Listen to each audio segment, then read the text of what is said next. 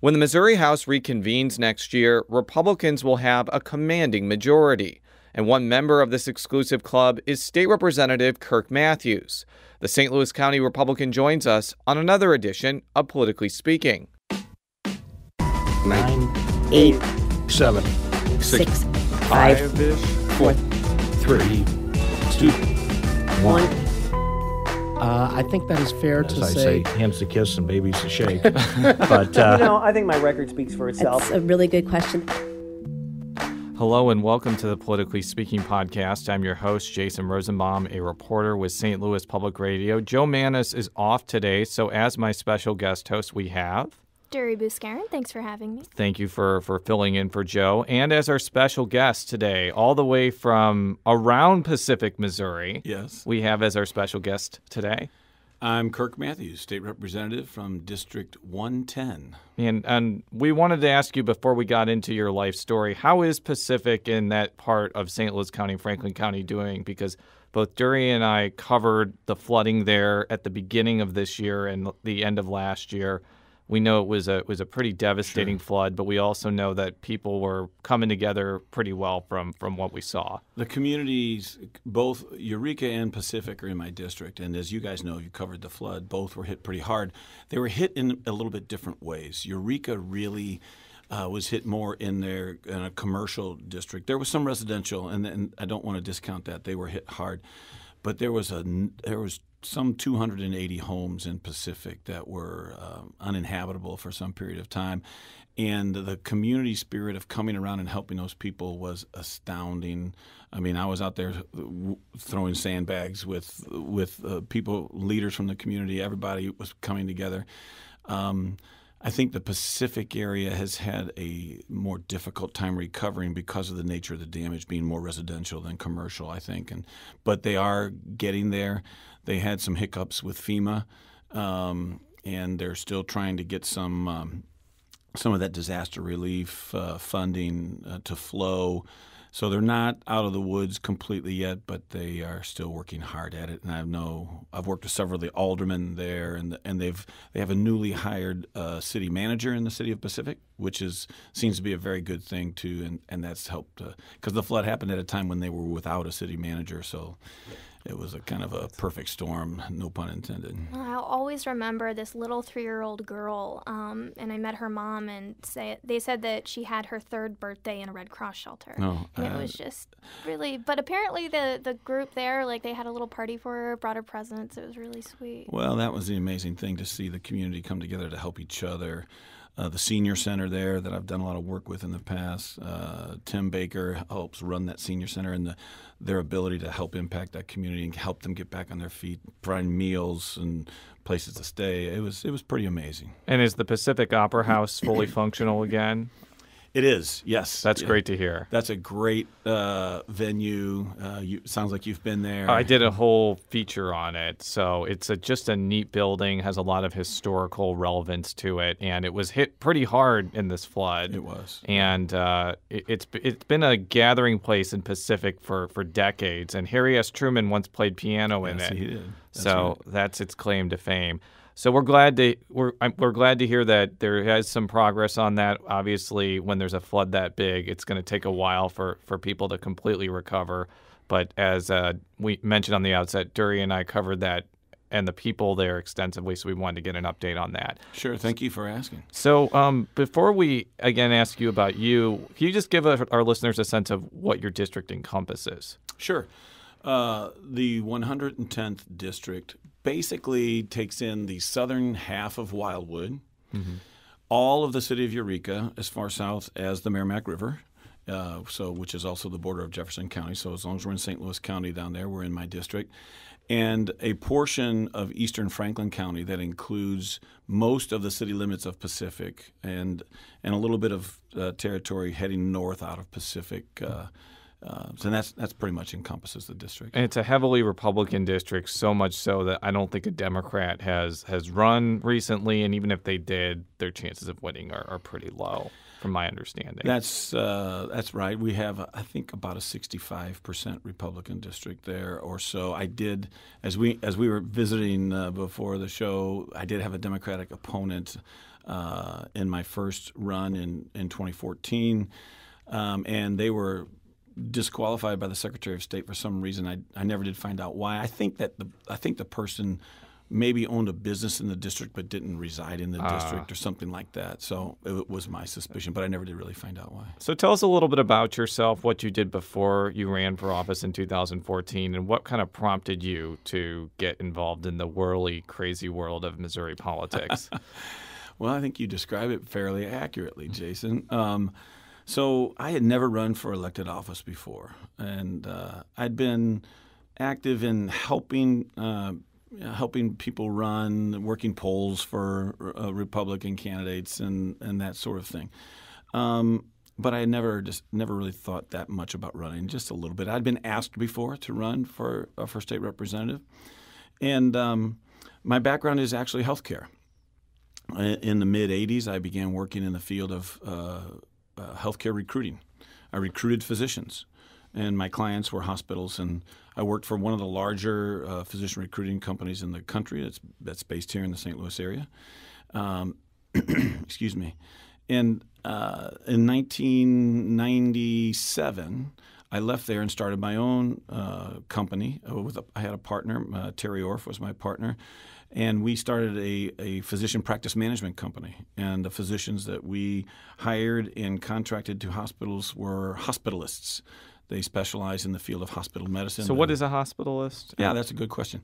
So, a hospitalist is a physician that only cares for the hospitalized patient. They don't have an office where you could see them for any ambulatory needs. Uh, they so the idea really got started around the idea that um, it would be a more efficient way to deliver care. So, for example, Jason, if under the traditional model, where your internist or your family physician was caring for you both as an outpatient and if you happen to be hospitalized, they would probably come and make hospital rounds at oh dark 30 in the morning and uh, then return to their office because they'd have 30 or 40 patients to see in the office that day if your second day in the hospital your test results came back and said you needed to you were cleared to go home your physician would not see those test results or sign those test results at best the end of the day and sometimes not until the following morning. So you would be spending time in the hospital without cause. As uh, the hospitalist model basically had, has a physician in the hospital all the time so they can be more efficient with getting discharge orders signed et cetera.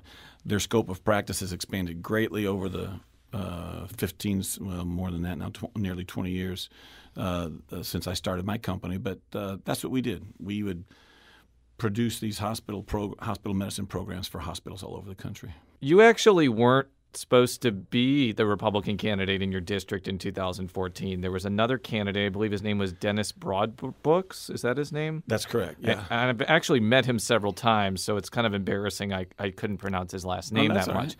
Dennis is a good guy Yeah, he had actually filed to uh, succeed House Speaker Tim Jones in the Missouri House. He was the only candidate from either party to file once filing closed. So he was effectively the state rep elect after filing closed. that's correct But then he withdrew for, for reasons I believe are, are personal in nature we don't have to get into right now. Mm-hmm. And you stepped forward. So my question for you is there aren't that many people who kind of you know, at the beginning of a year, don't expect to be a state rep and don't have any plans to be a state rep, and then become a state rep pretty much without too much trouble. I mean, oftentimes some of these seats are very hotly contested and literally millions of dollars are spent. How did that feel to be in that situation where, which I just described? Well, it was uh, unique to say the least, and I think you hit the nail on the head. It was a very unique situation. Um, Dennis had actually asked me to run before he filed.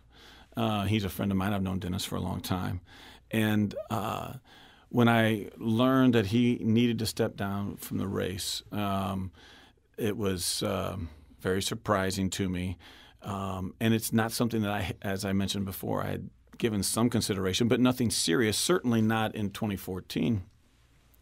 But I was in a place where I had sold my business, and um, I do consulting work and uh, executive recruiting work now, and so I had some flexibility with my time and my income, and uh, I I had reached the place where I thought, you know, I was I'm, i was concerned with the direction of uh, the state and the country, quite frankly. I have seven grandkids today, and uh, the rate of change in the, the way the country has been going over my lifetime, I'm I'm uh, not. I was not one of the younger freshmen in my freshman class in legislative class. Uh, the rate of change seem, seems to be picking up, and I thought that if this continued rate of change continues through the life of my grandchildren, we might not recognize this country and our state by the time they get to be my age. So it was one of those deals where it was literally an opportunity to to step up. I had no idea whether there would be opposition. Had Dennis stepped down after a certain date, and I think that that date was, uh, I don't recall, it was June something Yeah. or other, then it would have gone to a committee appointment process. Yes. But as it was, uh, he did not step down uh, in the right time frame for that, and it became an open filing for anybody to Yeah. refile. And and you filed. I and, did. And as you mentioned before, there's a Democrat who filed who was disqualified, and State Representative Kirk Mathews. Here we are. It took a little while to get used to hearing that. I'm sure it does. Can I ask you, um, when you say rate of change in your lifetime, what are you referring to specifically? Well, I, the way I I look at the world from a pretty conservative perspective, and I think that the the what has con- what was considered when I was uh, in a, as a young adult, when I was a high school kid growing up in West St. Louis County, I grew up in my district. Went to Pond Elementary School and Lafayette High School out in West St. Louis County. What was considered to be conservative then versus a moderate then versus a liberal thinker at that point or a progressive thinker, I think that has changed. I think uh, in the I'm 59 years old. I think in my lifetime I've seen the center of that what has has moved substantially to the left, in my opinion, and that's kind of what I'm talking about, almost across any topic. Uh, if you take any topic that you want to discuss, I would.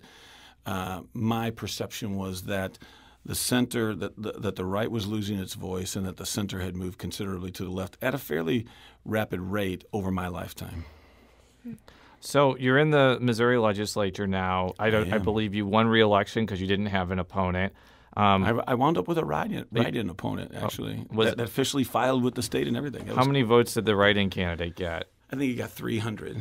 out of what, like ten thousand votes? Um, my tally was like 15,005. Wow. Something like that. So- Well, that write-in candidate clearly needed to do more work because uh, they were not successful. So we don't know what committees you're going to be on as as of this recording, but you have been on the House Budget Committee, and obviously you know quite a bit about health care. Durrie, I think we were going to talk a little bit about the, the the nexus between budgetary stuff and healthcare stuff. So I'll, I'll let you uh, take it from here. Sure. I mean, how, at least since you've been serving, how has your background in healthcare um, affected how you see health policy when you got, when it comes across your desk? I think it's a really good question. Um, in typical government fashion, when so when you uh, when you uh, win a seat in the legislature, uh, you get to submit to your caucus leader, in this case, the Speaker of the House, what your uh, interests are, et cetera. So I put some healthcare committees uh, on my uh, request list. And in typical government fashion, I didn't get any healthcare committees. so I was assigned to budget, I was assigned to transportation, I was assigned. I'm been served as vice chair of general laws, et cetera. But sitting on the budget committee, I have been exposed to some healthcare issues, obviously, as you would suspect. And my back, my my healthcare background is from the per- provider perspective, meaning the physicians, the allied health professionals, and the hospitals. I have a pretty clear, uh, a lot of experience in that field. I'm learning more about the payer side. I had to deal with payers a lot, with managed care companies, et cetera, et cetera, when I owned my own business. Um, and I think that what, what my experience as it relates to the legislature is, and in particular, obviously, this, the conversation would turn toward Medicaid, right? Which has been a very difficult subject for our state. Our Medicare, Medicaid spending has continued to, to go up and up and up and up. uh, while we have uh, resisted a formal uh, expansion of the o- o- Obamacare Medicaid plan and the exchanges. So, um, everyone that's come and lobbied me, and I've spoken to, and that happens frequently, as you might suspect, uh, and talks about their desire to see Medicaid expanded, I say, look, in my perspective, from a managing a group of providers, we employed 100 to 150 physicians at any given point in time in, in my uh, in my company's lifetime. Uh, is that I viewed Medicaid as a deeply flawed system, as a dramatically flawed system that, and I would not be opposed to expanding Medicaid on if if a couple things would happen that we could fix the flaws, and that we could do a better job of identifying the truly needy in our state. I don't think we do a good job of that. I think those are, you know, people that have truly limited options that are in true desperate need of help are the people that we need to be helping. But I can give you examples from my healthcare experience. Um, we helped several hospitals in the St. Louis area uh, start their hospital medicine programs during in, when I owned my company. And on more than one occasion, we had the privilege of caring for notables, people that uh, who's if I mentioned their name, which I of course can't and won't do, everyone in St. Louis would know their name. But they were a Medicaid enrollee because they had transferred all their assets into uh, other hands, trusts, et cetera, and yet they were taking their health care on the state. And abuses like that. I Are you specifically speaking about elderly people who spend down their assets to quali- to be a dual qualifier for Medicaid, Medicare? Yes, yeah, that, but it, kind of on steroids because they are people that I knew that everyone would know didn't have to spend down their assets, but they, but they disguise their assets or they move their assets. So wealthy So- people that you knew were dual enrolled Medicare, Medicaid to pay for end of life care? Yep. Well, not into life care, just their normal health care. Okay. They were they were a Medicaid, Medicare enrollee, and then some of them weren't even Medicare uh, age. Um, I, I I think that we have too many perverse incentives in baked into a lot of our um, uh, entitlement programs. I think um, you know when when a single mother has more incentive to have another baby out of wedlock, and if the father enters the household in a, in a marriage arrangement, she loses money. That's in my mind, that's a perverse incentive. Uh, you know, that we're not incentivizing the right things. So when I talk about the system uh, identifying the truly needy, I think we ought to uh, have a system that really helps people up and not simply help them out and and continue to incentivize uh, life choices that that are not conducive to them getting off of Medicaid. Um, from the standpoint of the system being broken, um, I mean, God, you could almost name the state. Uh, we would have when I was operating my business at any point in time, we would have accounts receivable from um, from Medicaid programs in various states around the country. Frequently, we would call and say, you know, what's the status of this claim or this batch of claims that we're getting need to get reimbursed on? And the response was, we're out of money right now. Call us back in six weeks. Maybe if we maybe if we have some money, then we'll put you on the list, or we'll or we'll get you some money. And if this if the government purchase of health care expects to engage private practice physicians, they they can't operate a business that way. So, I'm not interested in expanding a what I see as a terribly flawed system uh, without fixing the flaws and really trying to make sure that the system helps those that truly need the help. And I think that especially for the me- dual eligible Medicare Medicaid thing, um, there was an attempt at a fix last year in which they raised the um, basically the it's, asset Yeah, they they raised the asset limit. Um, so a lot of people, when they're uh, reaching their end of their life, they have to go into a nursing home. Um, but it's it's one of those things where if a family um, is looking at a very large unforeseen healthcare expense. Um, a lot of people will spend down their assets so they qualify for a either uh, like a Medicare, Medicaid dual eligible coverage. Um, and I think that it happens. I think that what people realized when they were writing this law is that it happens very, very frequently. I don't know. I can't fact check uh, the claims that it's very wealthy people who do this. Um, oh, I know I'm not suggesting that it is only wealthy people that do that because Right. I don't believe that at all. I know a lot of people. It, it's kind of average, you know, everyday people, and they spend down their assets. Um, and it's really painful for a lot of people to do this because they don't have much to leave for their children. And so the uh, law was passed to raise the asset limit, but it wasn't by much. No, I mean it was like, and they didn't. They didn't really do anything to fix that loop, like any kind of loophole that would make that possible, like transferring your assets or something. They didn't do anything to fix that another way, from what I could gather. No, I don't disagree with you. I think that the the asset limit is is still low, um, but I think that you know the it, it's very difficult to pick out one element of the Medicaid issue and and address that that has any kind of meaningful way across the system. I think we're going to. Ha- it, it really does need uh, a much broader, comprehensive overhaul, in my opinion. So one of the other things that I've heard often from especially people on the House Budget Committee on the Republican side is that the cost of the Medicaid program is going up, up, up, and up. And that is going to be making the budgetary situation difficult. It's going up, even though the eligibility in Missouri for for adults is, is is probably the lowest it can be. For children, it's it's higher, and for disabled, it's higher. But um, do you foresee Republicans trying to do anything to the Medicaid program as a way of, of controlling the budget, or is it pretty much so fixed in to the to the budgetary system right now that changing it is is going to be basically impossible without running afoul of federal laws or regulations? Well, I think that the because of the dramatic increase in spending uh, in in the Medicaid portion of the budget, they're gonna we're gonna have to do something. I mean, excuse me, pharmacy costs uh, in particular continue to rise exponentially. We're gonna have to do something budgetary.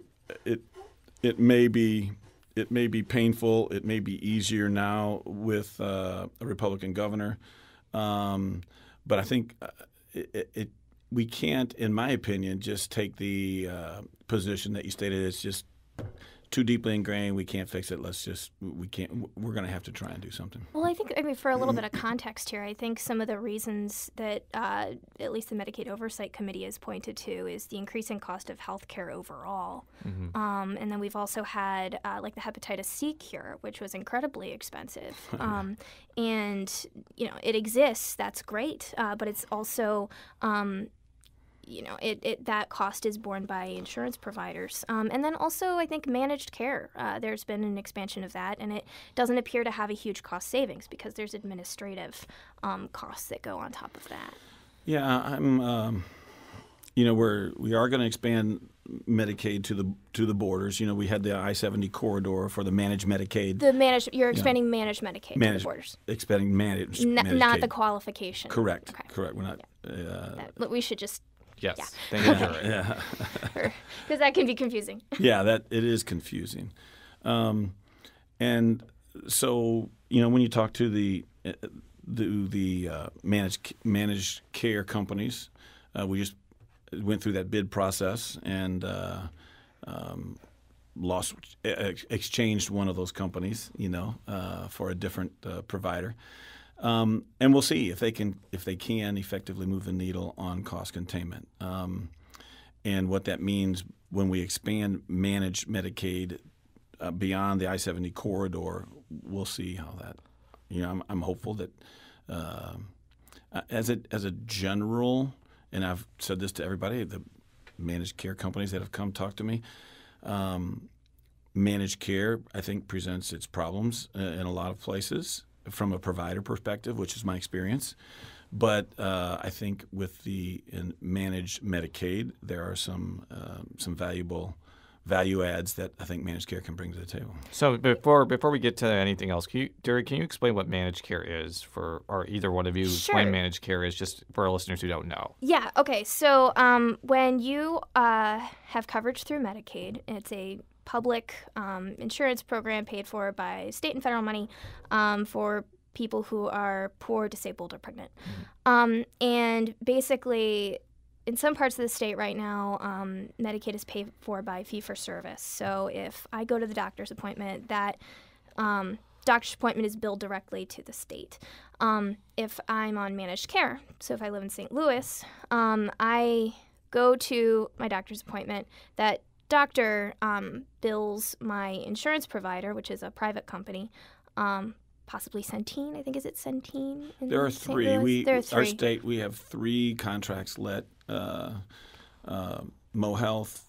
Uh, might have to double check Yeah. the name of that company, but Yeah. uh, then Centene and now United. Right, and and they are paid by the state for my overall care, and I also probably have a caseworker who is coordinating my care um, to say, okay, well, you know, you have COPD, so let's make sure you get to this appointment and this appointment. Um, there are. Uh, some preliminary evidence suggests that it does not cut down on um, the n- number of times people visit the emergency room for a non-emergency. Um, that's been a critique, um, but I think we when we talk about Medicaid expansion, I think another thing to bring up is that um, there's a lot of evidence in a lot of states that it can actually reduce the cost of care um, when people aren't waiting for their condition to get really really in, to an emergent level because they you know if they don't have coverage they're pushing off that care until they absolutely have to go to the ER and it's easier to manage that condition um, with regular appointments if you have a chronic condition like diabetes for example Well, the, it, the, the key to providing efficient health care is providing the right care at the right time in the right location. And what you said earlier is absolutely true. There's been it's been very challenging to find evidence that the managed care has reduced the the use of emergency room as the as the uh, source of first care. You know, you know, regardless of the condition. And I think that's something that that, that I know the managed care companies are are working to uh, to get their arms around. It's also, as you mentioned, caseworkers that can be provided. I think this is the place where um, uh, managed Medicaid can can help help help direct the patient to the right care at the right time at the right location. Um, it's it's just it's a matter of in healthcare we talk about utilization. It's just getting the proper utilization, and I think that's the benefit of managed care. I hope it can help us rein in our our, uh, our costs because the costs are going through the roof in our state. You asked about managed care in general. Uh, managed care exists outside of Medicaid, you know, in the in the adult in the adult population, well, in the general healthcare population, uh, and and the industry as well. Um, so, Yeah. So I wanted to shift gears to uh, the new legislative reality with a Republican governor coming in. Uh, Eric Greitens will be sworn into office in early January. You'll no longer have a Democratic governor to kick around anymore you, to override his vetoes or not override his vetoes. I, I think generally, before we get into more specific topics, how is that going to change the way Republicans who control the legislature by huge majorities operate, given that they no longer have to get to 109 or 23 anymore. They can just pass things by simple majorities. What, what's kind of your what's kind of your feeling about about Greitens? well, it's really uh, well about Eric Greitens. I think he has. I think we have a chance to really advance some legislation that have, has been sort of had the the brake pedal on it for a long time. Um, uh, I've actually heard uh, Governor-elect Greitens himself say, "Look, we've having a majority in in both chambers w- with uh, a Democratic governor has been like having driving uh, having a race car with the parking brake on." And I think I think we can we can take off the parking brake now and advance legislation. I think we need to do that thoughtfully.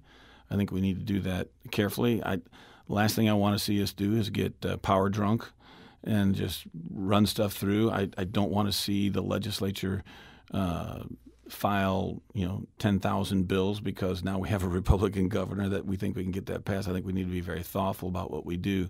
But I'm I'm excited. I think it's it's um, the day after the election. Woke up thinking about things very differently. I mean, it affects it affects a lot. I mean, we have caucus members, as as you know, that we have a hundred. It may be more difficult to manage a 117 member caucus than a than a 90 member caucus in some ways. You know, because we have caucus members that we do not agree on everything, and that's to be expected. And, and one of the things that one of the things that I, I thought about after Greitens won is I think people are going to be able to vote more independently now. There's not going to be this huge pressure to vote party line on everything. If all you have to do is get to 82, I think there still will be pressures from various entities to, to do priorities. But but I think it does allow legislators to have a little bit more independence on voting on bills. Is that fair to say or not really? Uh, no, I think it is fair to say. I think, you know, I mean, the the one that comes to everyone's mind is labor, right? And, and we had several labor caucus members that didn't vote with the caucus on labor issues, and I, I think it really changes the dynamic for them. I mean, they they can. Uh, be m- much more confident in their vote. They maybe not as much consternation with their vote if they need to vote their district or whatever. Um, it changes a lot. It really does. What are some of your priorities going forward this year? Um, going forward this year, I'm going to carry a few a few bills that I carried last year. Um, a couple of them around what I believe to be uh, help our state with economic development issues. I carried the Transportation Network Company, the TNC bill last year. Um, I- I really, I'm really excited about. I think the I think Speaker Richardson is um, feeling very uh, energized by the possibilities of that bill. And Can you it- tell us a little bit about Yes, it? I was just gonna say. Because Oh, I, I actually don't know that. Oh, that's okay. Transportation network companies are companies like Uber and Lyft. And currently in our state, there does not exist a statewide regulatory platform for them to operate. So if you're an Uber driver um, in Kansas City, Missouri, you have a different regulatory environment. If you drive outside of Kansas City and drive up to St. Joe with a fare, you might be illegal in St. Joe or in Platte County. Technically, I think you're, it's illegal in St. Louis right now, in St. Louis County. I don't think it's ever been approved yet. I hear people all the time say they've used Uber, so it, it's happening. I've Uh, used Uber. Yeah, I, I ha- I've only used Uber in others other cities, but continue. Yeah, no, no. There's so they are operated in St. Louis on a limited basis, and uh, there actually is a lawsuit right now between the city of St. Louis and uh, Uber. But it's not just an Uber bill; it is a transportation network company bill. There are other companies in that Yeah. space like Lyft, et cetera, and um, but Uber alone said uh, our legislative our legislation passes, and there will be they anticipate a minimum of ten thousand new small businesses created in, in by independent Uber Uber drivers in our state. So, by doing a statewide regulatory system, would you basically erase all the local regulations and basically put it under one big state mandate, essentially? It would be a statewide platform, so they would get their, they would uh, Uber would register with the state, the drivers would register with the uh, with Uber, uh, or the or the transportation network company, and they would be basically n- not have the fear of crossing a county line or a municipality and suddenly being illegal.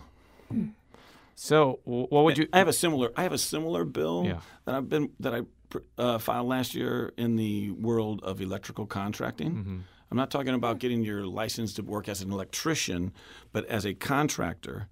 Um, I filed a bill that I intend to file this year that would create a statewide regulatory platform for electrical contractors. Because currently, there are electrical contractors in our state that have to apply for and maintain upwards of 90 or 100 different licenses with every municipality that they choose to do business in. and that, that's, that's, an, that's an example of uh, a regulatory climate that just is not conducive to small business. What do you think that the lay of the land is going to be on some social issues like restricting abortion rights or, or guns? Because it seems like even though you had a Democratic governor, the legislature was still overriding the, the governor on it.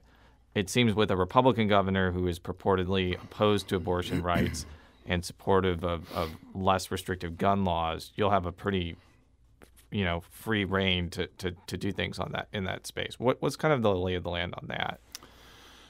Well, there hasn't been, you know, in our caucus meetings, uh, even since the election, the caucus priorities were, as stated by leadership, were tended to fall into uh, labor reform, tort reform, which that's another issue that you asked about my my priorities. I do have a tort reform bill that changes how punitive damages are adjudicated, uh, which I think is a, a very interesting bill. I think it's, uh, but so the priorities when you speak to leadership, they'll talk about tort reform. They'll talk about um, Labor. labor reform and education reform.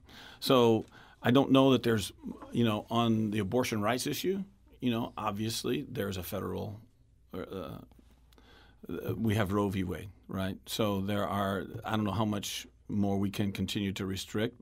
I mean, I would be in favor of that if we if we do if we could.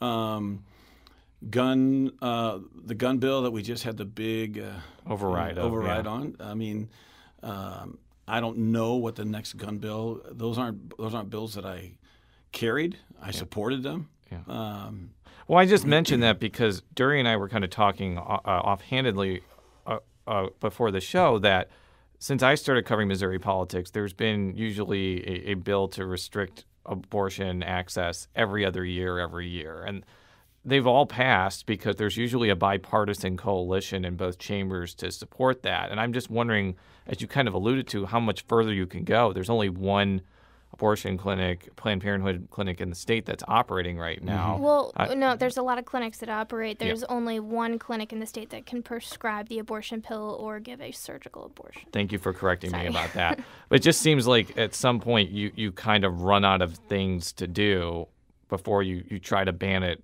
outright, and that runs into the Roe v. Wade Right. situation. So so you're, you're not seeing that as a priority over the next couple of years at this point? well, it, you know, for those that are on the uh, in the pro-life camp, I think that the ultimate banning of abortion would be our ultimate goal. You know, uh, I don't see I don't see how much farther we can go as a state until there's a change at, at uh, in the in the Supreme Court. I'm kind of w- wondering how do you, when we have, I think there's like 36 pages of Missouri abortion law right now. And um, we saw like cuts, funding cuts this year to Planned Parenthood, which prescribes a lot of um, contraception and things that prevent unwanted pregnancies and therefore reduce the number of abortions that happen. So I've always, I mean, it, I'm mostly interviewing people in the health and science world. And I think that one thing I haven't yet understood is what the ideal is. You know, if we're if we're cutting back both um, access to abortion, but also access to preventive methods, what's what's the solution here? What's what are we striving? What is what is your camp striving for? I don't think I don't think there's any would be any objection if Planned Parenthood said we're no longer going to perform abortions. We're going to actually perform things that what most people I believe think of as women's health. You know, the the number of mammograms that uh, that they perform is minuscule compared to their abortions, and they talk about the percentages. That's, And- that's but- not true. well, the no, number of abortions well, they do. You have to count. You have to take a look at how they're doing the counting. Are they counting every patient? Are they counting everything that they do for every patient?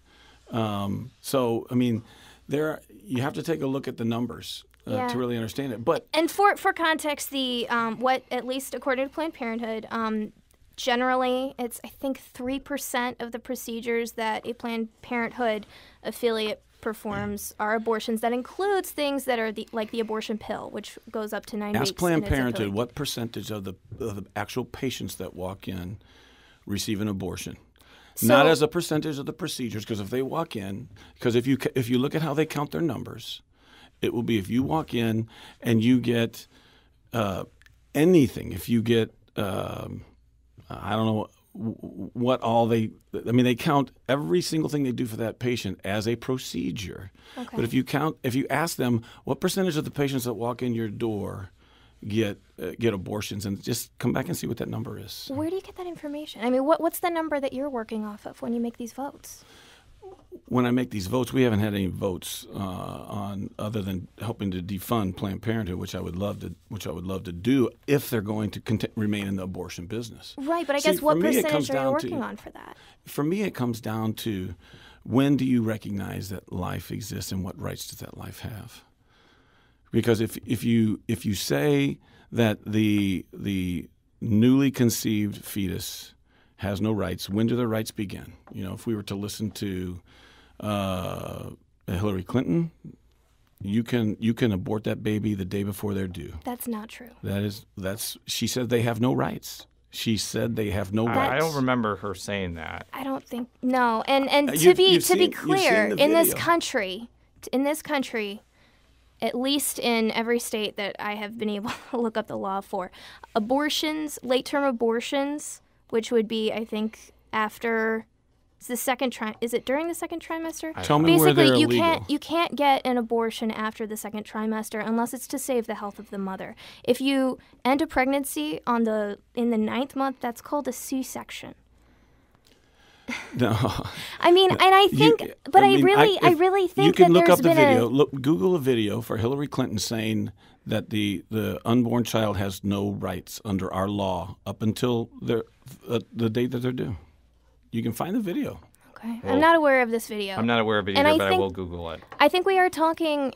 I think that this debate in this country has. I mean, I, I do feel like the two sides of this issue they they're operating with different facts, you know, and and I and that worries me because I think that that makes it really hard um, to have a civil dialogue in this country that actually is about health care and and you know what we're doing. Um, and so, I mean, going back to the, the number of abortions or the percentage of women who receive abortions at Planned Parenthood, I mean, where, where do you get those numbers? I, I have read several studies about this. There are different organizations that publish these numbers. Uh, I don't know if you've ever seen videos by PragerU. Um, I would I would look at that if I were you. Videos. I can't remember exactly. Well, they're like uh, uh, educational videos. Yeah. Okay, and then they and they did a survey of Planned Have you ever heard patients. of PragerU? I've seen any of their any of their videos. I haven't. No. I haven't Okay. either. No. Take a look at some of them. It's not they they they speak to all issues, social issues, fiscal issues, economic issues. Okay. Um, but I mean, again, what percentage of A- ask ask them yourself. Ask find out. Maybe prove me wrong. Go and find out. Ask them what percentage of women that walk in the door wind up with abortions. they they told me that it was six percent in St. Louis because they are the only No, they, clinic. they told you that it was six percent of procedures that they do, right? I think that is the language. I will give you that. Yeah, just find out. Are there any other issues that you expect to be a major priority when the legislature comes back in January? Yeah, I think tort reform will be. Yeah, can you kind of elaborate on that? Well, I'll give you an example of my bill. Um, so right now, in any civil action, the uh, plaintiff can file for punitive damages before any discovery, before any understanding uh, that there is a cause for punitive damages, and um, what that does is, and, and, and literally every lawyer will do it in, in a sense out of practicing defensive law, right? Because they don't want to later discover that there could have been punitive damages into the case and they've done their client a disservice by not filing at the first pleading. But the effect that that has is uh, our court systems are pretty clogged. Judges and lawyers are all trying to point people towards settling these cases rather than having them uh, adjudicated by a jury. What that does is it puts a cloud over the settlement discussions that the threat of punitive damages, whether or not there's any cause of action for those punitive damages or not that could be proven in a court of law, that cloud hangs over those negotiations.